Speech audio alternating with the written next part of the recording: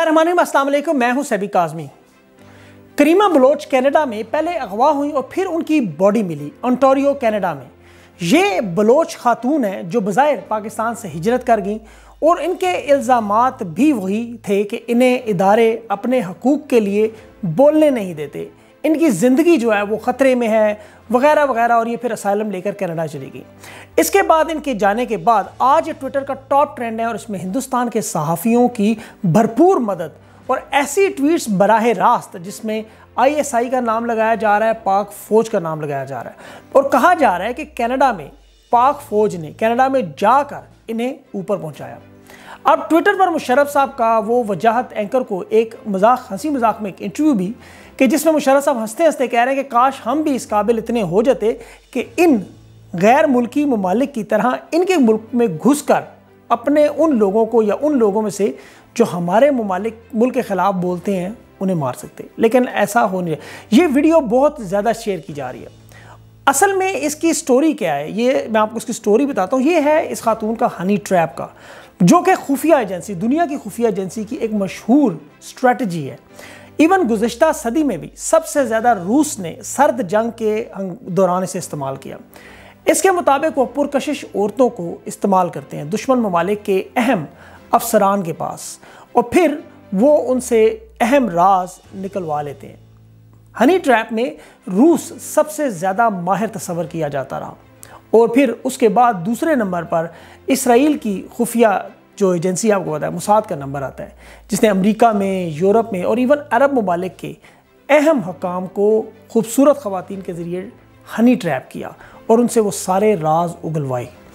हैरान कन तौर पर वैसे, इसमें अमेरिका की सी आई ए और ब्रिटिश जो है एम आई सिक्स वगैरह, इनके हनी ट्रैप के बारे में कुछ ज़्यादा जो है ख़ास काबिल ज़िक्र ऐसे कारनामे बाज़ाहिर नज़र नहीं आए।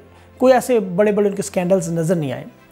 हनी ट्रैप इन दोनों एजेंसियों की तरजीहत में शामिल नहीं रहा। उसकी शायद एक तो वजह है कि उन्हें ज़रूरत नहीं पड़ी दूसरे मालिक से। इस पर मैं एक तफसील से कैसे एक चाइना के स्पाइस जो है वो अभी अमेरिकन टॉप जो डिप्लोमेट्स हैं, उनके जो टॉप इस वक्त पोलिटिकल लीडर हैं, वहाँ पर वो कैसे पहुँच गई और किस तरह वो कितने अरसे से काम कर रहे थे उस पर मैंने अभी पिछले दिनों एक प्रोग्राम किया। वो अब गौर से देखिएगा उसमें मैंने बहुत कुछ एक्सप्लेन इस पर ज़्यादा किया है। इसलिए मैं ज़्यादा हनी ट्रैप पर ज़्यादा बात नहीं करता। लेकिन भारतीय एजेंसी रॉ ने भी हनी ट्रैप के ज़रिए पाकिस्तानी और मकबूजा कश्मीर की जो मुसलमान की आदत है, उसके लिए बहुत से हनी ट्रैप्स इस्तेमाल किए। इसमें आपको नबे की दिहाई में राह को कुछ कामयाबियाँ भी हासिल हुई थी, लेकिन इतनी काबिल ज़िक्र कामयाबियाँ नहीं थी कि इससे उन्हें कोई फ़ायदा उठाया जा सकता इसलिए फिर अब उन्होंने एक्टिविस्ट जो है, वो ऐसे एक्टिविस्ट बलूचिस्तान के हवाले से उन्हें इस्तेमाल करने की एक कोशिश की। और ये बाज़ाहिर स्टूडेंट यूनियन के तौर पर नौजवान वो नौजवान कि जिन्हें असाइलम के सिलसिले में बैरून मुल्क मदद किया जाता है ताकि वो वहाँ जाके सेट हो जाएँ। नौकरियाँ मिल जाती हैं एन उनको सपोर्ट करना शुरू कर देती हैं, मुख्तलिफ़ ऑर्गेनाइजेशन उनको पैसे देना शुरू कर देती हैं। वो अब इस ट्रैप में बड़े आराम से, बड़े आसानी से फंस जाते हैं। और इन, इनके फंसने की सबसे बड़ी वजह भी यही है कि वहाँ पर, क्योंकि बहुत सारे ममालिक में गुर्बत आपको पता है और फिर पढ़े लिखे नौजवान नौकरियाँ ना मिलने की वजह से अपने मुस्तबिल बनाने के लिए रंग बिरंगे इदारों में कोशिशें करती रहते हैं कि हमें यहाँ पर नौकरी मिल जाए और फिर यहाँ से एजेंसीज़ यूज़ करती हैं। इनका हनी ट्रैप थोड़ा सा मुख्तलिफ़ होता है और इस हनी ट्रैप के ज़रिए बहुत से पाकिस्तानी लोग आपको दुनिया भर के ममालिक में इस वक्त पाक फ़ौज पर या पाकिस्तान पर ज़्यादा से ज़्यादा दुश्मन मालिक के ख़िलाफ़ जो इस्तेमाल हुई ज़ुबान है, वो बोलते हुए नज़र आएँगे। आप ट्विटर चेक कर लें, आपको बहुत सारे लोगों का पता चल जाएगा। अब मैं आता हूँ इस मेन जो अभी मसला हुआ है इस पर, कि ये एक ब्लैक मेलिंग के लिए किया जाए अगर मसला आमतौर पर, जो हनी ट्रैप है तो उसे तो आमतौर पर दलाली कहा जाता है, लेकिन अगर मुल्क के लिए किया जाए तो उसे मुहबिल वतनी कहा जाता है। बलोच स्टूडेंट ऑर्गेनाइजेशन एक पुरानी तालब इलमों की जमात थी, जैसे एम एस एफ़ थी Muslim student federation P S F थी ए टी आई जमीयत वगैरह मुख्तलिफ़ ऑर्गनाइजेशन लेकिन बलोच स्टूडेंट ऑर्गेनाइजेशन को जब फंडिंग हिंदुस्तान से शुरू हुई उस वक्त तो वहाँ पर ये ऑर्गेनाइजेशन बदल गई। अब E U disinfo lab का जो नेटवर्क सामने आया, जिसके इंचार्ज इंकीत श्रीवास्तव और अब इन खातून का जो अभी फोत हुई हैं, इनका नेटवर्क से भी ताल्लुक साबित हो रहा है। और ये एक अहम बात है कि जब भी किसी एजेंट का कवर आपको पता एक्सपोज हो जाए, वो नज़र में आ जाए, पता चल जाए तो उन्हें आम तौर पर रास्ते से हटा दिया जाता है। ये इन एजेंसीज़ का काम है। तो अब चूँकि इनका कवर हट चुका था, ये नेटवर्क बेनकाब हो चुका है पूरी दुनिया में, इस पर कॉन्फ्रेंसेज हो चुके हैं तो मेरा नहीं ख्याल कि इस खातून की या किसी और खातून की इन्हें ज़रूरत हो। आप कलभूषण यादव केस को भी मत भूलें कि वो बलोचिस्तान में किस तरह इन लोगों की मेहमानी में एक बड़ा अरसा गुजार गया था और पकड़ा नहीं जा रहा था। अब इदारों के लिए जो है वो तरक्की याफ्ता ममालिक में ऑपरेशन करना इतना आसान नहीं होता। और वैसे काश ऐसा हो सकता कि अगर इन ममालिक में कोई ऑपरेशन हो सकता और उनको लोगों को वापस लाया जा सकता तो बानी मुतहदा अलताफ़ हुसैन दिन रात पाक फ़ौज पर इस तरह, जो हर्जा जराई है वो ना कर सकता। इस तरह मियाँ नवाशी साहब अभी general Faiz I S I का नाम लेकर बात कर रहे हैं, उन्हें तो कुछ नहीं हो रहा। वो तो बिल्कुल ठीक ठाक है। इसी तरह पाकिस्तान के अंदर भी अगर आप देखें कि दिन रात आप ट्विटर खोल कर देखें, आज की तारीख में आप जाएँ ट्विटर पर, वहाँ पर पाक फौज इदारों के खिलाफ जिस जबान का इस्तेमाल हो, वो सब लोग पाकिस्तान में बैठे भी हैं। टीवी पे देखें, एक दिन में चार प्रोग्राम होते हैं, तीन एंकर, दो मेज़बान बैठ कर एक बैठक लगाते हैं और वो लोग भी पाक फौज पर खुल कर बात करते हैं। खुल कर उनका हर किस्म का इल्ज़ाम डिस्कस होता है। तो इनको अपने मुल्क में कोई कुछ नहीं कहता। हाँ अक्सर अवकात इन सहाफ़ियों के साथ कुछ होता है। अगर लड़कियों को छेड़ने के मामले पर एक सहाफ़ी के बाल उन्होंने, उस लड़की के घर वालों ने मूंड दिए थे। फिर इसी तरह एक लूती मिसाइल में आपको पता है, कौम लूत के मसाइल में एक सहाफ़ी मुलविस थे तो उनके हम जिस प्रस्त जो दोस्त थे, उन्होंने उनको फेंटा लगाया ठीक ठाक फिर अब इसी तरह कर्ज, एक साफ़ी ने उधार लिया थे पैसे वापस नहीं कर उन्हें भी मार पड़ी बड़ी। और एक बड़े साफ़ी जिनके घर में जुआ होता है, और वहाँ पर ये एक दूसरे को पी कर मारते रहे, और फिर बाहर आके लोगों ने मीडिया पर यह प्रोपागेंडा किया कि इदारों ने इनके साथ किया। काश मैं इन सब लोगों के आपको नाम भी बताऊँ, लेकिन मैं बहुत सारी वजूहत की वजह से बता नहीं सकता। अब जलसों में जिस तरह वज़ी अजम के बारे में अदारों के बारे में इतनी दुनिया के सामने बातें हुई, जिस पर कोई हद नहीं, उन बर रास्त इल्ज़ाम की एक तहतवील फहरिस्त, और वो भी गरज चमक के साथ सुनाई गई, और सबके सामने कहा गया। मिसाल के तौर पर, अभी आप कोयटा के जलसे में देखें कि किस तरह मिसिंग पर्सन के लवाहकिन के नाम पर मोहतरमा मरियम सदर साहिबा को खसूसी तौर पर चंद लोगों से मिलवाया गया। ये लोग उनकी इतिहादी पार्टी ने जो वहाँ पर इकट्ठे करके रखे थे, बलोचिस्तान के नाम पर, जिस तरह आज दुनिया भर में।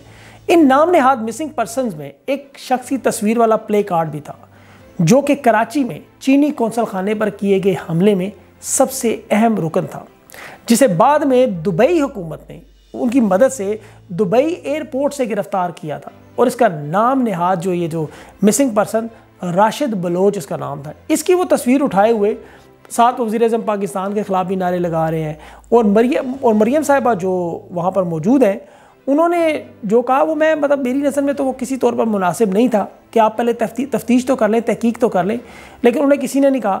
जिन चीदा चीदा अफराद को मिसिंग पर्सन के नाम से जलसा गाह की कवरेज के लिए आने वाले जो गैर मुल्की मीडिया के सामने भी बार बार लाया जा रहा था। बार बार ये जेल ये बंदा जी, ये बंदा जी। उनमें से भी दो तस्वीर उन लोगों की थी, जिनकी अभी कुछ अर्सा पहले एक फरारी कैंप जो है, वहाँ पर खड़े होकर उन्होंने अपने असले की नुमाइश की। असला दिखाया, कैमरे के सामने हँसते हँसते तस्वीरें बनाई और फिर ये तस्वीरें सारे सोशल मीडिया पर उन्होंने सर्कुलेट की, वायरल करवा दी उन्होंने। और उनके जो चेहरे हैं, वो किसी नकाब में भी नहीं थे, उन्हें मतलब डर ही नहीं था कि हम पहचाने जाएँगे, कोई हमें देख लेगा। और ये नाम नहाद मिसिंग पर्सन जो है, जदीद तरीन असले के साथ अपने जिसम के गिरद लपेट कर बड़े फ़खरिया अंदाज से खड़े होकर बात करते कि, ये लो। रोक सकते हो तो रोक लो। अब ये तो है इनकी मिसिंग पर्सन की जो असल हकीकत, जिसके लिए शोर मचाया जा रहा था, जिनकी आड़ में ये मुल्की इदारों पर संगबारी की जाती है, बातें की जाती है। आपको वो हामिद मीर साहब का मामा कदीर भी याद होगा बड़ी अच्छी तरह, कि जिस तरह ये लोग सिक्योरिटी फोर्सेस के जवानों को आप शहीद कर रहे हैं। अगर आप उनकी कभी वीडियोस देखें, जो आजकल सोशल मीडिया पर चलती हैं, लेकिन हटती हैं, फिर वो दोबारा लगाई जाती हैं स्टॉक एक्सचेंज पर हमला देखें, आप चाइनीज़ कौंसलेट पर हमला देखें सीख पैक पर हमला देखें पीसी होटल पर जो हुआ है, वो इस तरह जहाँ जहाँ चीन के लोग और तनसीबात हैं, वहाँ पर हमला करने वाले यही मिसिंग लोग आपको मिल जाते हैं, जिनकी ये लोग तस्वीरें उठाकर घूम रहे होते हैं। फ़ौज पर बलूचिस्तान पर घुसने वाले इल्ज़ाम जो लगाते हैं बार बार वो ये बात क्यों भूल जाते हैं? और अभी ख़ास तौर पर जो मैं कोयटा के जलसे की बात इसलिए कर रहा हूँ कि वहाँ पर पी डी एम ने जमहूरीत और बलूचिस्तान के हकूक़ के हवाले से ऐसी ऐसी दर्दनाक दास्तानें सुनाई कि यकीन करें कि सुनते हुए भी दिल थाम कर वो सुननी पड़नी थी। लेकिन आफरीन है जो सुन रहे थे और जो वहाँ मौजूद थे, उन सब लोगों पर जैसे एक जादू सा तारी हुआ था। इसीलिए आप देखेंगे जलसा गाह के अंदर जो है, वो स्टेज के दाएँ बाएँ जो बैठे हुए किसी बंदे के अंदर इतनी ज़रूरत नहीं थी कि वो थोड़ी सी इनको हकाइक की रोशनी भी बता देता कि यार आपकी ये जो तकरीरें हो रही हैं, इनको ज़रा हकाइक से आप देख लें। कोई बंदा इनमें से उठकर ये कह देता कि सत्तर की दिहाई में, बलूचिस्तान में सबसे पहला गवर्नर राज जो था, वो जनाब जुल्फ़ार अली भुट्टो साहब ने लगाया। फ़ौज ने नहीं लगाया था। और फिर जब बलूचिस्तान में सरदार अताउल्ला मैंगल वज़ी अला थे तो बलूचिस्तान में दूसरा गवर्नर राज वोट को इज़्ज़त देने वाले मियाँ मोहम्मद नवाज़ शरीफ साहब ने उस वक्त लगाया था जब बलूचिस्तान में सरदार अताउल्ला मैंगल के फर्जंदे अर्जमंद सरदार अख्तर मैंगल की हुकूमत थी। अब देखें कि ये चीज़ें इनको याद नहीं आएँगी और इसी स्टेज पर खड़े होकर इन्हीं लोगों के दरमियान बैठकर सरदार अख्तर मैंगल जमहूरियत का दर्स दे रहे थे उन लोगों की तरफ़ इशारे कर रहे थे। और उनके, मैं हैरान भी हो रहा हूँ मुझे हँसी भी आती है कि यार ये किस तरह के लोग थे जो उनकी बातें सुन रहे थे कि नवाज़ शरीफ को सरदार अख्तल मैंगल के ख़िलाफ़ किसी किस्म की गैर कानूनी कार्रवाई ना करने का जो मशवरा दिया था, वो भी इन्हीं साहब ने दिया था। अब आप ये देखें कि अब जब ये एजेंट एक्सपोज होना शुरू हो गए हैं, चाहे वो कनाडा में हो रहे हों या चाहे बलूचिस्तान में हो तो उन्हें रास्ते से हटाने के लिए उनके अपने सहूलतकार, उनके अपने फाइनेंसर मुतहरक हैं। और ये हाइब्रिड वार का एक बड़ा ख़ास अहम हिस्सा होता है जब आप एक्सपोज हो जाए, अब आप नज़र में आ गए, अब आपकी ज़रूरत नहीं है। तो इसलिए जो लोग ट्विटर पर शोर मचा रहे हैं, उनको ये ज़रा मेरी वीडियो एक बार ज़रूर दिखा